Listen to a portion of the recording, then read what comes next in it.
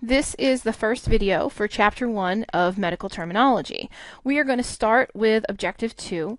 Objective 1 was simply um, creating an online account for the book, so we're going to start with Objective 2 in Chapter 1, which is to describe the four origins of medical language. Now, before we go on, I just want to make the point that Chapter 1 really is the most important chapter in the text because this is where you're introduced to what are called word parts. Um, things like word roots, prefixes, suffixes, and combining vowels.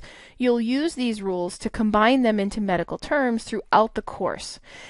And the strategies that you use to kind of learn additional words is going to be to analyze, build, define, and spell terms using those word parts. So this really is sort of like learning the alphabet when you're trying to learn how to read and write, learning the periodic table, when you're trying to name things in chemistry, but we have to get these basics down to be successful. Now, most of us probably realize that medicine has a language of its own. That's why you're in the class called medical terminology. There's just different vocabulary. And medical vocabulary can include terms built from Greek and Latin, Latin word parts, can have eponyms, acronyms, and terms from modern language. Many words can be translated literally to find their meaning, and if you get good at those parts and pieces, it's going to help you be successful on how to tackle some of these words in the future. Now, for the four origins, the first one, like we talked about, is Greek and Latin. So, for example, terms built from Greek and Latin words such as arthritis, Eponyms are terms derived from the name of a person, often a physician or a scientist who was identif- first to identify the condition.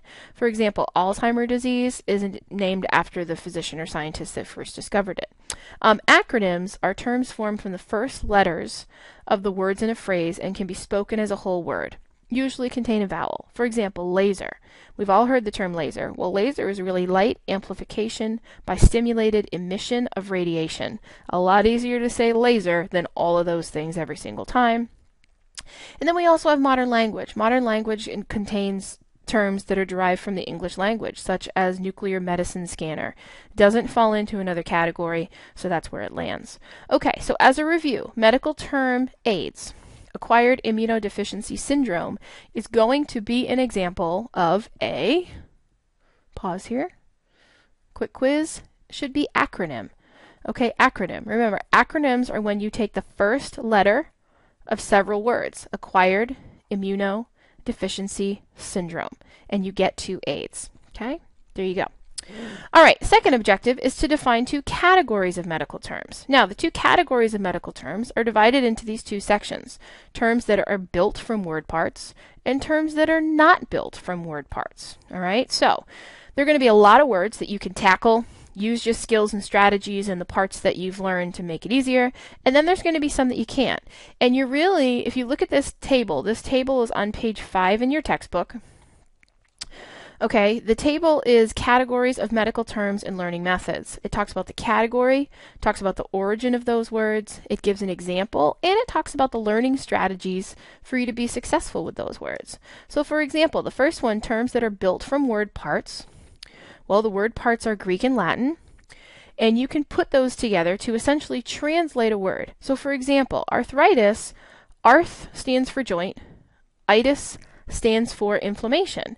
So, without even knowing the context, I can easily identify this as inflammation of a joint.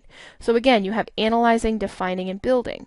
Whereas if terms are not built from word parts, you can't do that. So, these are going to include your eponyms, your acronyms, modern language terms, and things that just can't be translated.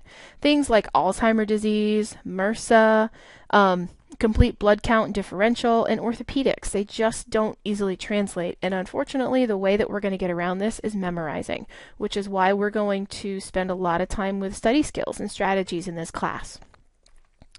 So, for example, review questions. Parkinson's disease is a term that is not built from word parts. Okay, this is an example of an eponym named after the, the physician who first identified this disease. As opposed to osteoarthritis, osteoarthritis is a term that is built from word parts. And if you know the definition, we already talked about arthritis. Osteo refers to bone. Um, so you can really quickly put together the meaning of that term without going into too much depth.